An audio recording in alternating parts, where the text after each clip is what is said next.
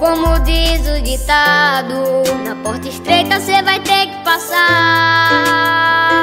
Deixei um legado E não foi pra me enganar. Às vezes você sofre nem sabe por quê.